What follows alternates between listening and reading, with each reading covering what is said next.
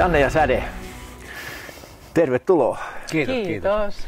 Siis tervetuloa esittelemään tätä Deep, ei kun Purple Universe. Ei Deep Purple, vaan Purple Universe. Joo, Purple Universe, mutta mä sanoisin, että se on aika diippiä. Sitä se on. Joo, Diippiä musa. et nyt pääsin kuuntelemaan tätä ensimmäistä sipaletta. Teillä on kolme nyt kasassa, kun me tehdään tätä haastattelua. Kyllä, nyt on tullut kolme biisiä ulos ja loppukuusta tulee sitten koko levy. Joo, kolme biisiä, mitkä? Shine, sitten on She Flies ja Ready for Love. Ready for Love. Kyllä. Joo, Ja 26.5. tulee sitten koko levy pihalle. jep. Jännittävää. Päivämäärä on juurikin päätetty. No niin, niin, hyvä. Ja hyvä nyt tietää. pitää kiinni, kun se on tässä sanottu. Niin, juuri näin.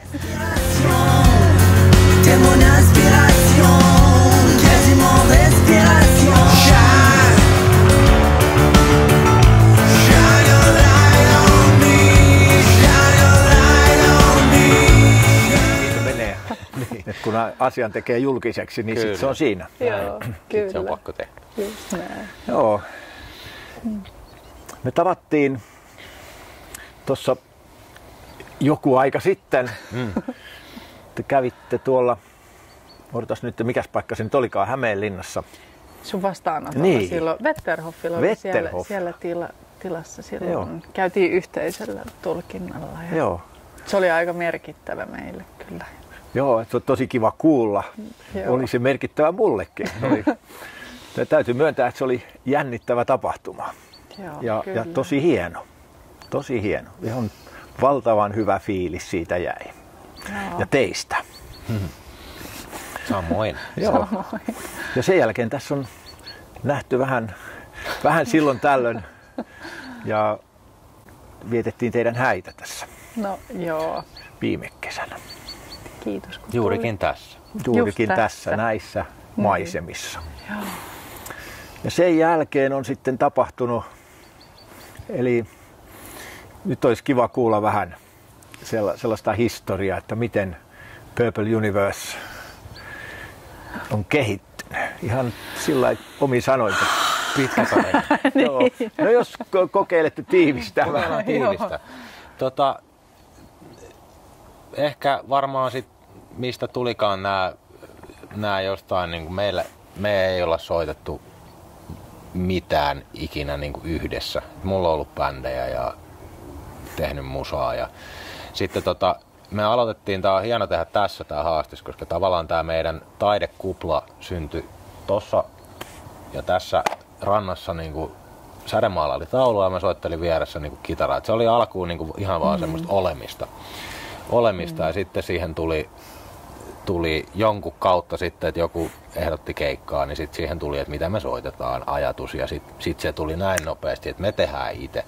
Ja sitten se meidän ensimmäinen biisi, mä, mä sanoin silloin tota, tota että että mä en ole ikinä tehnyt rakkauslauluja, mutta nyt mä teen. Ja sitten mä kävin yläkerrassa, mä tulin alakertaan ja sitten meillä oli toi meidän ensimmäinen biisi, joka tavallaan niinku kertoi siitä meidän kuplasta ihan puhtaasti, niinku, että mikä me mm-hmm. luotiin ympärille aika nopeasti. Että missä me nyt vaan maalailtiin, oltiin, viihdyttiin, mm-hmm. tehtiin kaikkea kivaa. Ja sitten siitä tuli, niinku, se oli se ensimmäinen biisi, joka me saatiin niinku läjää ja valmiiksi. Ja sitten alkoi tulee se kaikki muu niinku kauhealla vyöryllä.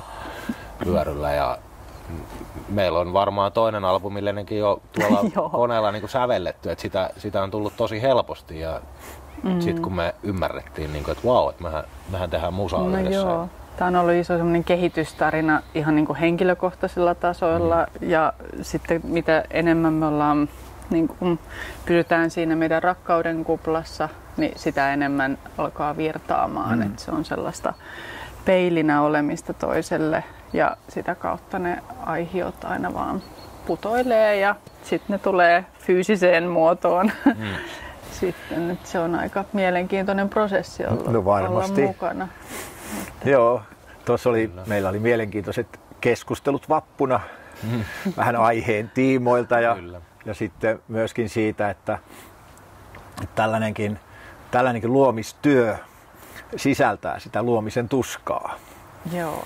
että mitä, mitä kautta se sitten aina tuleekaan. Että ei, ei aina niin helposti eikä, eikä kevyesti, Joo, ei, vaan että tosiaan joo. sieltä niin kuin tosi syvän tunnemaailman kautta. Joo, Kyllä. se on juurikin näin. Että tavallaan, että mitään ei voi tulla ulos ennen kuin on niin kuin asiat käsitelty ja on se puhdas tila, mikä, mikä meidän välillä on. Et se on aika, aikamoinen Niin. Prosessi aina, että täytyy tavallaan aina siivota pöytä puhtaaksi ja sitten vasta niin kuin vir, virtaa. Joo, tää on, tää jää, mä oon tosi itselle rehellinen tyyppi ja entinen ammattiurheilija, niin on pakko olla mm. niin kuin ollutkin aina. Niin sit on jännä, että on, mä oon löytänyt niin kuin sädestä tyypin, joka on myöskin pystyy siihen, niin kuin, että olen sataprosenttinen itselleen rehellinen, kun tehdään nyt esimerkiksi mm. tätä musiikkia. Mm. Niin me ei olla tehty sekuntiikat tuota musaa, ellei me olla oltu täysin niin kuin pyyteettömän rakkauden tilassa ja silleen, että me ollaan, mm. me ollaan monesti niin kuin tietyllä tavalla tässä levyntekoprosessin aikanakin lyöty parisuhde silleen niin kuin tähän linjalle. Että me ollaan tarkistettu tämä, että onko tää semmonen, että tämä on ihan täydellistä oikeasti meidän mielestä. Ja me ollaan päästy siihen kerta toisensa jälkeen siihen tilaan aina ja tuosta on muutama biisi syntynyt just sillä voimalla, niin kuin, että me ollaan ihan tosissaan riidelty joku juttu läpi. Ja sitten siitä jutusta on tullut niin kuin parempi todellisuus meille. Sitten me jossain vaiheessa ruvettiin niin kuin tajuun toi, että tämä homma pyörii noin. Että me mm. mennään kipuja kohti sen takia aika helposti nykyään niin kuin, ja mielelläänkin, koska me tiedetään, että siellä on jotain parempaa niin kuin odottamassa ja siellä on muun muassa biisejä odottaa ja siellä odottaa aina niin kuin meidän, meidän välinen vielä parempi suhde, että se ei niin kuin pelota kohta varmaan enää ollenkaan niin kuin mennä noihin tilanteisiin. Niin, saa nähdä, miten tämä Niin, se, kehittyy. se on mennyt helpommaksi ja helpommaksi vaan tämä Joo. Tää, mutta se vaatii sen, että ainakin että mä koen, että musta tulee niinku semmoista musiikkia, mitä mä haluan julkaista, niin mä en julkaise mitään yhtään teen näistä. Sen takia tää on vedetty aina niinku ihan, ihan raasti auki kaikki.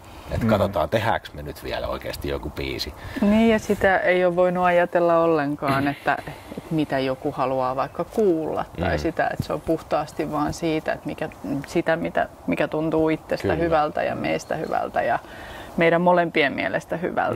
Niin. Että se on niin kuin, että se ei tule ulkopuolelta, vaan Mm. se tulee jostain. Sanotaan, että toi levy ei sisällä yhtä ainutta kompromissia. niin, joo. Joo. Niin. Se on Joo. täydellinen meidän mielestä. Ja Joo. siinä on to, tulee vaan mieleen tästä yleensäkin ihmissuhden maailmasta ja rakkauselämästä, että se, että, että mi- mistä on kysymys silloin, kun kaksi ihmistä löytää niin kuin tosi syvästi toisensa. Mm. Niin siinä, siinä on kysymys ka- kahden va- vastakkaisuuden yhteensovittamisesta ja Hmm. sitten jos, et et se aina silloin kun se tunne on syvä, niin siinä on molemmilla paljon opittavaa. Mm. No joo. Ja sen mun mielestä toi, mitä te kerrotte, niin on, on sitä, sitä koulua ja sitä polkua, jo, jossa mennään to, tosien syvi, tosi syvien ja ehkä, ehkä aika pimeittenkin angstien läpi mm. niin kuin aina seuraavalle tasolle. Kyllä. Kyllä. Et, et löytää itsensä ikään kuin uudelleen Joo. jostain tyhjyydestä tai pimeydestä Niin, tai kyllä. mistä milloinkin. Joo, ihan aina putoo. Joo, tää on ollut Joskus. semmonen, jos nyt jääkiekko ammattilaisura myöskin on aika raju ekon murskaamisprosessi, että jos sen osaa siitä ottaa irti, niin siinä pitää olla tosi rehellinen itselleen. Mutta niin tämä on ollut Tämä on ollut myös aika raju ekon murskaamisprosessi, koska niin nämä asiat, mitä me peilataan toisillemme, niin on semmoisia, niin mitä ei välttämättä tee mieli katsoa itsessään niin kuin Hmm. vikoina tai näin. Mutta sitten nyt mitä tässä on nyt, ollaanko me oltu kolmisen vuotta yhdessä, niin ei tuolta ole yhtään väärää juttua tullut. Et mä oon ollut aina samaa mieltä syvällä sisällä, että joo mä tiedän, että toi on semmonen juttu, mikä pitää korjata. Joo. Ja mm. ilmeisesti puolin ja toisin tämä menee koko ajan näin. Joo, ja se on ollut turvallinen tila niin kuin kasvaa. Sillain, että kun on luottamuksen piirissä ja on ihminen, kuka rakastaa, niin on saanut niitä syviä haavoja tässä parantaa. Ja sitten se, että mikä, mikä siitä on seurannut, että just vaikka se, että mä en ole uskaltanut laulaa ja nyt on levy, le, levy tullut, niin että on isoja prosesseja käynyt niin kuin henkilökohtaisella tasolla läpi ja niin kuin, kun tässä on niin kuin semmoinen tuki ollut niin ikään kuin vieressä, mm. joka on tavallaan, että se on luottamuksen tila, hei, että mä pääsen tästä jutusta yli, okei, no nyt seuraava juttu, ja okei, että mä soitankin tätä, ja että miten, että, että pystynkö mä isoja kysymyksiä, isoja este, mitkä on täällä oman mm. pään sisällä vaan, niin niistä on päässyt sillain ylitte, että okei, että no nykyinen minä voikin tehdä näin ja okei, että säde voikin nyt vaikka soittaa saksofonia ja laulaa ja tanssii ja mitä, mitä niin kuin, että se on, ja sitten kun se on niin kuin rakkauden piirissä, niin se on niin turvallista ja siinä voi heittäytyä ja voi tehdä mitä vaan. Mm. Että ei ole sellaisia niin kuin rajoja ja on Joo. se tuki. Tämä niin kuulostaa kuin. hienolta ihan kaikille, ketkä nyt sitten tätäkin katselee, niin sellaisena ideana siitä, että kun, kun me uskalletaan viedä sitä, niin sitä omaa intohimoa ja omaa, omaa juttua ja omaa kuvioa mm. eteenpäin, niin se on, se on jatkuvaa työskentelyä, jonkun uuden kohtaamista, jonkun pelottavan vastaanottamista. Mm. Ja kun yhden ottaa vastaan, niin sieltä aina avautuu seuraava ja seuraava ja seuraava. Näin. Tavallaan Joo. se yksi taito, jonka uskaltaa ottaa vastaan, se heittää kierroksen muuttuu mm. seuraavaksi mm. ja muuttuu Just taas niin. seuraavaksi. Joo. Hieno esimerkki näin. siitä t- tavallaan tästä, niin kuin mä sanoisin, astrologisesti nousumerkki kierrosta. Mm. Että pitää, et elämä on sitä, että pitää jatkuvasti niin kuin uskaltaa ottaa itselleen vastaan jotain uutta. Just ja niin. sekin on semmoinen niin parisuhteen kannalta haastava juttu, joka kun jompi kumpi aina löytää sitä, niin siinä on pieni pelko helposti mukana, Joo. että mitä tämä tarkoittaa. Mm. Mitä tämä mm. tarkoittaa meidän suhteen kannalta, jos sä nyt teet noin ja noin. Niin. Se on just se luottamus siinä vaiheessa, Aha. että okei, että okei, toi, toi haluukin tehdä tollasta, että no, se rakastaa mua silti, tekööt, niin. ja okei, mä oon tässä mukana. No hei, tee, hmm. te lisää. niin kuin, Juuri niin. Niin, että uusien niin kuin kerroksien löytymistä itsestä. Mm. Tässähän kuoriutuu Joo. koko ajan. Että se on siistiä. Joo, kyllä, tota, kyllä mä sen verran, sen verran muistan, kun me niitä karttoja katseltiin, että te aika tai hyvinkin rehellisesti ja välillä vähän sen silmät kosteina kuuntelitte vähän myöskin sitä haastetta, joka siellä on mm. ja joka, joka niin kuin on toisaalta se vahvasti yhdistävä tekijä ja sitten se, joka joka pistää kysymään, että mm. mistä tässä oikein on kysymys ja onko mulla voimaa, onko mulla rohkeutta tähän. Just niin. Ja mulla on semmoinen, semmoinen fiilis ja nyt kun kuulin vähän tarinaa näistä kappaleista, niin siellä on jotenkin kiteytyneenä teidän story. Kyllä. Ja se, se siitä tekee vielä niin erityisen ja se tunnelma ainakin mulle itselle on se, se, niin se välittyy se rakkauden energia, semmoinen parantava energia sieltä Joo. musiikista ja laulusta. Joo. Et se on, jokainen biisi on, niillä on omat tarinansa ja ne on aina jokaisesta meidän tämmöisestä etapista. Hmm. Kertoo eri tunteesta, käsitellään eri tunteita. Meillä on ollut, jos tämä ensimmäinen biisi, mikä saatiin valmiiksi, tämä Little Universe, niin kertoi meidän omasta uni, pienestä universumista. että se on niinku muisto siitä ja sitten jokainen biisi on tavallaan niinku muisto jostain. Mm. Ja sitten se on ollut aina perusedellytys, että me lyödään se meidän universumi kupla päälle ja me ollaan kaksi.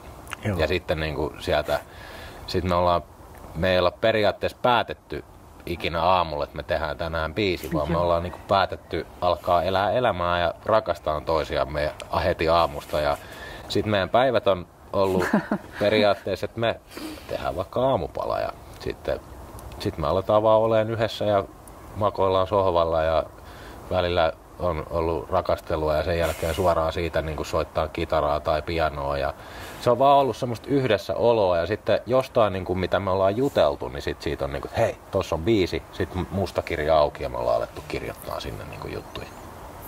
Joo. Ja sitten siellä on niin kuin kaikki meidän lyriikka on tehty sinne sitten. Niin kuin, että se on ollut joku päivä, meillä on tämmöinen käsiteltävä aihe, tästä tulee biisi. Ja sitten näin se on mennyt. Joo. Toi voisi sanoa, että tuollaista sen elämän kuuluisi olla, Joo. vaikkei tekisikään biisejä. No niin. Niin, Että et, niin. et kun elä, elää sitä Joo. jokapäiväistä elämää, Niin. niin tuossa se tavallaan semmoinen idea siitä, että mitä jos elämä olisikin sellaista, että ei tarvitsisi tehdä mitään väkisin, ei tar- tarvitsisi tehdä pakosta, vaan Just että siellä, näin. siellä olisi semmoinen, että sen voisi antaa syntyä. Kyllä. Juuri näin. Mä oon osannut elää elämäni jotenkin tollainen, että vaikka mä pelasin lätkäammattilaisurankin niin kuin ihan rakkaus, rakkaus edellä. Et mä vielä niin kuin kolmekymppisenä ukkonakin mä niin kuin leikin reeneissä aina. Ja puhtaasti kaikki syntyi niin kuin, että mä en tehnyt, mä en mennyt reenaan, mun ei tehnyt mieli, mutta sitten mä osasin tehdä siitä leikistä semmoisen, että mun teki mieli käytännössä koko ajan mennä harjoittelemaan. Että syntyi niin kuin sitäkin hommaa, vaikka se on aika raju maskuliininen maailma, niin pystyy tekemään täysin niin kuin, tavallaan tuosta mm. energiasta käsin, jos sitä osaa vaan No itse joo. leikkiä. Niin.